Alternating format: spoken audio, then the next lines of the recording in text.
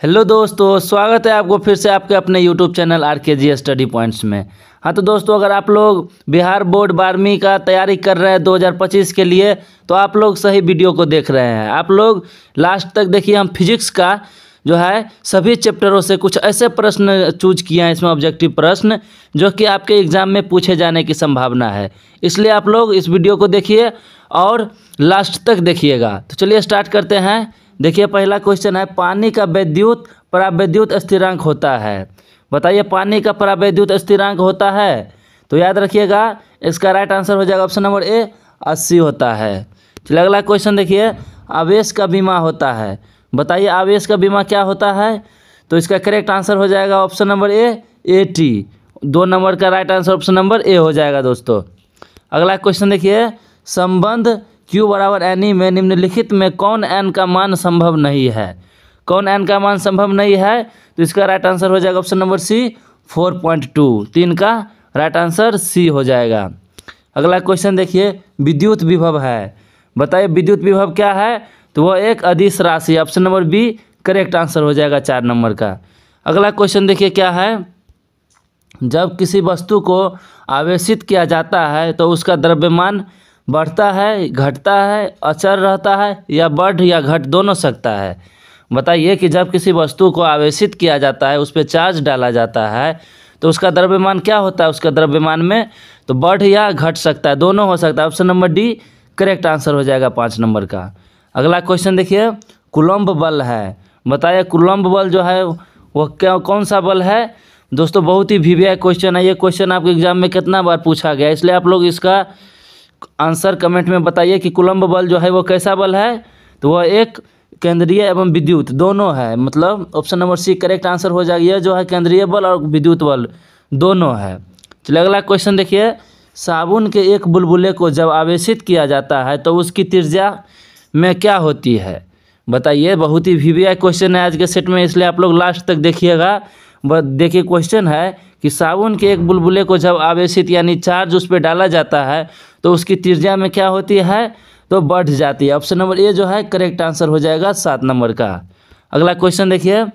किसी विद्युतीय क्षेत्र में चालक को रखने पर उसके अंदर विद्युतीय क्षेत्र का मान क्या होता है? अगर किसी विद्युतीय क्षेत्र में चालक को रखते हैं दोस्तों तो विद्युतीय क्षेत्र का मान क्या होता है? तो शून्य हो जाता है। Option number C correct answer हो जाएगा एट नंबर का। दोस्तों, अगर आप लोग को हिंदी समझ में नहीं आता तो आप लोग इंग्लिश में भी देख सकते हैं, क्योंकि हम क्वेश्चन जो है बायलिंगुअल सेट किए हैं, इसलिए आप लोग जो है इंग्लिश से भी देख करके याद कर सकते हैं। चलो, अगला क्वेश्चन देखिए क्या है? किसी संधारिता की धारिता का मात्रक होता है। क्या हो जाएगा संधारित्र की धारिता का मात्रक? तो इसका करेक्ट आंसर हो जाएगा ऑप्शन नंबर सी फेराडे नौ का option number C correct answer हो जाएगा। अगला क्वेश्चन है, एक बोल्ट बराबर होता है। बताए, एक बोल्ट बराबर क्या होता है? तो वन कुलम्ब प्रति जूल होता है। Option number C, correct answer हो जाएगा दस नंबर का। अगला क्वेश्चन देखिए, निम्नलिखित में से कौन सदिश राशि है? बताइए, इसमें से कौन सदिश राशि है? विद्युत विभव, विद्युत क्षेत्र की तीव्रता, विद्युत आवेश या आवेश के पृष्ठ घनत्व। तो इसमें से जो सदिश राशि है, वह विद्युत क्षेत्र की तीव्रता है। Option number B, correct answer हो जाएगा ग्यारह नंबर का। अगला क्वेश्चन देख लीजिए, क्या है? निम्नलिखित में से किस राशि का मात्रक वी ऑब्लिक एम होता है? बताइए कि किसका मात्रक जो है वी एम होता है? तो इसका राइट आंसर हो जाएगा ऑप्शन नंबर डी विद्युतीय क्षेत्र का। अगला क्वेश्चन देखिए विद्युत धारिता का मात्रक होता है। बताए विद्युत धारिता का मात्रक क्या होता है? तो इसका करेक्ट आंसर हो जाएगा दोस्तों फेराडे होता है। Option number B correct answer हो जाएगा तेरह नंबर का। आप लोग याद करते चलिए, अगर आप लोग को किसी क्वेश्चन का आंसर पता हो तो आप लोग कमेंट में बताइए, इससे क्या होगा कि ये क्वेश्चन अभी ही आप लोग को याद हो जाएगा, बाद में फिर याद करना नहीं पड़ेगा। चलो, अगला क्वेश्चन देखिए क्या है। नीले रंग के लिए कार्बन प्रतिरोध का कलर कोड होता है। बता दीजिए कि नीले रंग के लिए जो कार्बन प्रतिरोध का कलर कोड होता है, वो कितना होता है? तो वो जो होता है, वो छः होता है। Option number D correct answer हो जाएगा तेरह नंबर का। चौदह नंबर का दोस्तों, अगला क्वेश्चन देखिए क्या है? कार्बन प्रतिरोध के हरे रंग के कोड का मान होता है। बता दीजिए कार्बन प्रतिरोध के हरे रंग के कोड का मान क्या होता है? तो पाँच होता है। Option number C correct answer हो जाएगा इसका। अगला क्वेश्चन देखिए, प्रतिरोधों के समांतर क्रम में निम्नलिखित में से कौन राशि समान रहती है? कौन राशि समान होती हैं प्रतिरोधों के समांतर क्रम में? विभुआंतर धारा विभुआंतर और धारा दोनों या इनमें से कोई नहीं। तो याद रखिएगा सिक्सटी नंबर का करेक्ट आंसर हो जाएगा ऑप्शन नंबर ए विभुआंतर जो कि प्रतिरोध एवं समांतर क्रम में समान रहती है। अगला क्वेश्चन देखिए क्या है? विद्युत हीटर। विद्युत हीटर में जिस पदार्थ का उपयोग किया जाता है, वह है। क्या है वह? जिस प्रकार विद्युत हीटर में जिस पदार्थ का उपयोग किया जाता है वह है कॉपर, प्लेटिनम, टंगस्टन या नाइक्रोम। तो सत्रह नंबर का राइट आंसर हो जाएगा दोस्तों, नाइक्रोम, जिसको विद्युत हीटर में उपयोग किया जाता है। आप लोग याद करते चले ये क्वेश्चन देखा जाए तो बहुत ही वी है। ये लगभग कितना बार पूछा जा चुका है आप लोगों के एग्ज़ाम में, इसलिए आप लोग इस क्वेश्चन को ज़रूर याद कर लीजिएगा। अगला क्वेश्चन देखिए, क्या है? धात्विक चालकों का ताप बढ़ने पर उनका प्रतिरोध क्या होता है, बता दीजिए। अगर धात्विक चालकों का ताप बढ़ जाता है तो उसके प्रतिरोध का जो है, बढ़ता है। ऑप्शन नंबर ए जो है करेक्ट आंसर हो जाएगा अठारह का। अगला क्वेश्चन है कि ताप बढ़ने के साथ अर्धचालक का प्रतिरोध क्या होता है? अगर ताप बढ़ता है तो अर्धचालक का प्रतिरोध जो है, वह घटता है। Option number B correct answer हो जाएगा इस क्वेश्चन का। अगला क्वेश्चन देखिए विभव मापी के तार की लंबाई बढ़ा देने पर संतुलन बिंदु प्राप्त होता है वो जो प्राप्त होता है, वो अधिक लंबाई पर प्राप्त होता है। Option number B correct answer हो जाएगा ट्वेंटी नंबर का। अगला क्वेश्चन देखिए, सेल का विद्युत वाहक बल मापा जा सकता है। किसके द्वारा मापा जा सकता है? सेल का विद्युत वाहक बल तो वह मापा जा सकता है विभव मापी द्वारा। Option number D correct answer हो जाएगा विभव मापी द्वारा जो है दोस्तों, सेल का विद्युत वाहक बल मापा जा सकता है। चलिए अगला क्वेश्चन देखिए क्या है। ए मीटर का प्रतिरोध होता है। बताइए मीटर का प्रतिरोध कितना होता है? तो ये होता है, शून्य होता है बहुत कम होता है दोस्तों सॉरी बहुत कम होता है मीटर का प्रतिरोध। अगला क्वेश्चन देखिए क्या है, लोहा होता है। बता दीजिए, बहुत ही वी क्वेश्चन है, इसी प्रकार के क्वेश्चन आपके एग्ज़ाम में देखने को मिल सकता है। इसलिए आप लोग जो है वीडियो को लास्ट तक देखिए और मज़ेदार क्वेश्चन है, आप लोग सेट लगाते चलिए और कमेंट में क्वेश्चन का आंसर बताते चलिए। तो बता दीजिए, लोहा होता है, कैसा होता है लोहा? तो लोहा जो है, लौह चुंबकीय होता है option number C correct answer हो जाएगा इसका। अगला क्वेश्चन देखिए क्या है? विश्वत रेखा पर नमन कोण का मान होता है? विश्वत रेखा पर नमन कोण का मान कितना होता है? तो बहुत ही मज़ेदार क्वेश्चन है। आप लोग याद रख, याद कर लीजिएगा, विश्वत रेखा पर जो नमन कोण का मान होता है, वह ज़ीरो होता है। Option number A correct answer हो जाएगा इसका। अगला क्वेश्चन देखिए दोस्तों क्या है? नमन कोण का मान उत्तरी ध्रुव से विश्वत रेखा की ओर जाने पर क्या होता है? नमन कोण का मान जो है, अगर उत्तरी ध्रुव से विश्वत रेखा पर जाने से क्या होता है? बढ़ता है, स्थिर रहता है, घटता है या इनमें से कोई नहीं? तो इसका करेक्ट आंसर हो जाएगा ऑप्शन नंबर सी घटता है। अगर नमन कोण उत्तरी ध्रुव से विश्वत रेखा की ओर जाता है तो उसका मान घटता है। ऑप्शन नंबर सी जो है, इसका बिल्कुल करेक्ट आंसर हो जाएगा। अगला क्वेश्चन देख लीजिए, क्या है कि किसी चुंबक का चुंबकीय आघूर्ण है। क्या होता है? किसी चुंबक का चुंबकीय आघूर्ण तो वह एक जो है सदिश राशि होता है। Option number B correct answer हो जाएगा इसका। अगला क्वेश्चन देखिए, क्या है? एक हेनरी बराबर होता है। एक हेनरी बराबर कितना होता है?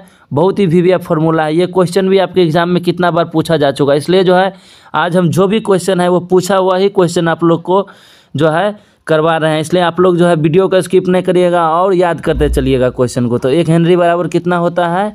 तो दस के पावर थ्री एम होता है। ऑप्शन नंबर एक करेक्ट आंसर हो जाएगा इसका। अगला क्वेश्चन है दोस्तों कि डायनेमो की क्रिया निम्नलिखित में से किस सिद्धांत पर आधारित है? बता दीजिए डायनेमो की प्रक्रिया निम्नलिखित में से किस सिद्धांत पर आधारित है? तो ये जो है, विद्युत चुंबकीय प्रेरण के सिद्धांत पर आधारित है दोस्तों। Option number B correct answer हो जाएगा इसका।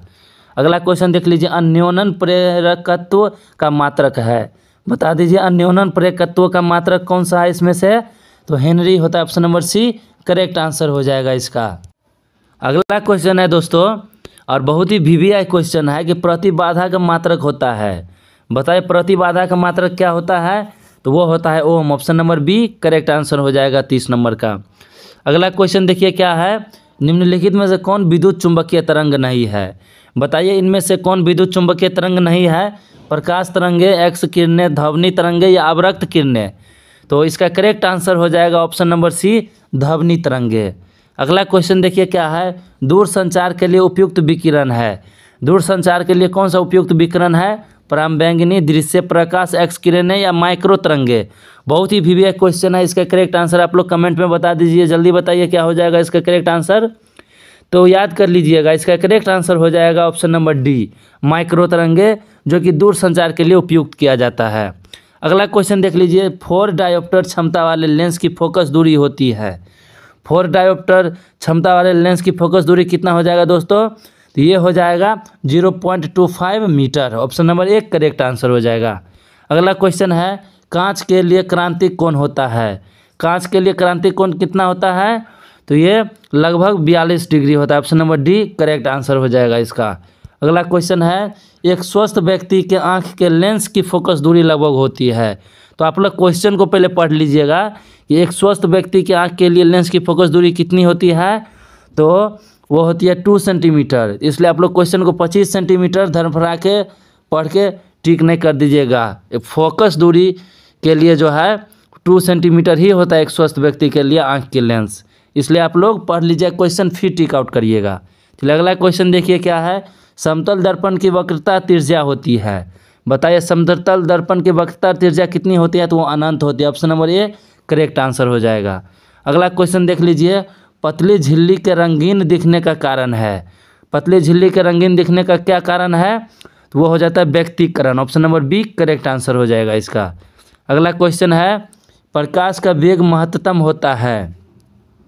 कब होता है प्रकाश का वेग महत्तम? हवा में, शीशा में, पानी में या निर्वात में? तो इसका करेक्ट आंसर हो जाएगा दोस्तों निर्वात में। Option number D correct answer हो जाएगा इसका। अगला क्वेश्चन देख लीजिए, प्रकाश के कनिका सिद्धांत के प्रतिपादक कौन थे? प्रकाश के कनिका सिद्धांत के प्रतिपादक कौन थे? हाइगेंस, न्यूटन, फ्रेनल या मैक्सवेल? तो इसका करेक्ट आंसर हो जाएगा ऑप्शन नंबर बी न्यूटन, जो कि प्रकाश के कनिका सिद्धांत के प्रतिपादक थे दोस्तों। Option number B correct answer हो जाएगा इसका। आप लोग याद कर लीजिएगा। क्वेश्चन है दोस्तों कि कैथोड किरणें समूह है। बताइए कैथोड किरणें जो है, किसका समूह है? तो याद करिएगा, इसका करेक्ट आंसर हो जाएगा ऑप्शन नंबर ए इलेक्ट्रॉनों का। कैथोड किरणों जो है, एक इलेक्ट्रॉनों का समूह है। ऑप्शन नंबर एक करेक्ट आंसर हो जाएगा चालीस नंबर का। अगला क्वेश्चन देख लीजिए, इनमें से कौन आवेश रहित है? बताइए इनमें से जो है, ऐसे कौन है जिसके पास चार्ज नहीं होता, आवेश रहित है वो? अल्फ़ा कन बीटा कन फोटोन या प्रोटोन तो इसका करेक्ट आंसर हो जाएगा ऑप्शन नंबर सी फोटोन जो कि चार्ज लेस होता है आवेश रहित होता है। अगला क्वेश्चन देखिए, मिलिकन की तेल बूंद विधि द्वारा ज्ञात किया जाता है इलेक्ट्रॉन का। क्या ज्ञात किया जाता है इलेक्ट्रॉन का? मिलिकन के तेल के बूंद विधि द्वारा द्रव्यमान, आवेश, वेग, या इनमें से कोई नहीं। तो फोर्टी टू नंबर का राइट आंसर हो जाएगा दोस्तों।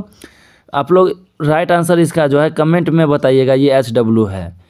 कि इसका राइट आंसर क्या हो जाएगा? अगला क्वेश्चन देखिए क्या है कि हाइड्रोजन स्पेक्ट्रम की कौन सी श्रेणी अवरक्त भाग में नहीं पड़ती है? कौन सी श्रेणी अवरक्त भाग में नहीं पड़ती है?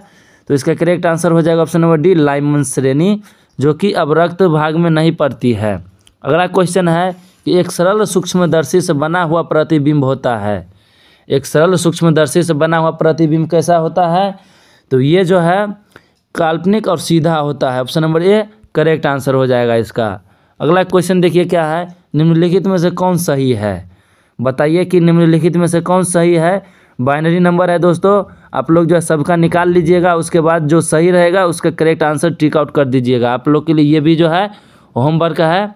हम जो है एक वीडियो बनाएँगे, जिसमें सिर्फ़ बाइनरी नंबर बता देंगे कि कैसे निकाला जाता है और एकदम शॉर्टकट तरीका से बताएँगे आप लोग। फिर कभी नहीं भूल पाइएगा। अगला क्वेश्चन देखिए क्या है? दाता अपद्रव्य परमाणु की संयोजकता होती है। बताइए, दाता अपद्रव्य परमाणु की संयोजकता कितनी होती है? तो पाँच होती है। Option number C correct answer हो जाएगा फोर्टी सिक्स का। अगला क्वेश्चन है द्वि आधारी अंक एक ज़ीरो एक ज़ीरो एक का दशमलव पद्धति मान क्या होगा?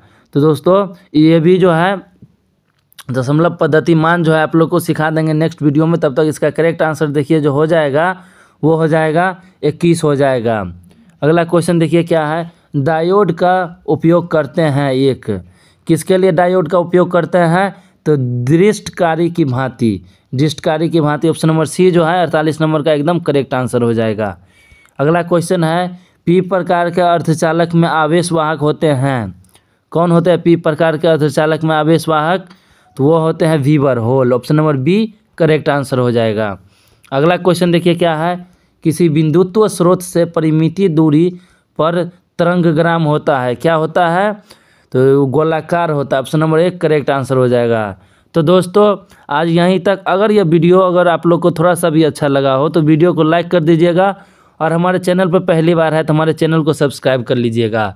और आप लोग अपना स्कोर बताना नहीं भूलिएगा कि आप लोग जो है फिफ्टी में से कितना सही किए। आप लोग कमेंट में ज़रूर बताइएगा अपना स्कोर तो चलिए मिलते हैं नेक्स्ट वीडियो में। तब तक के लिए थैंक यू बाय बाय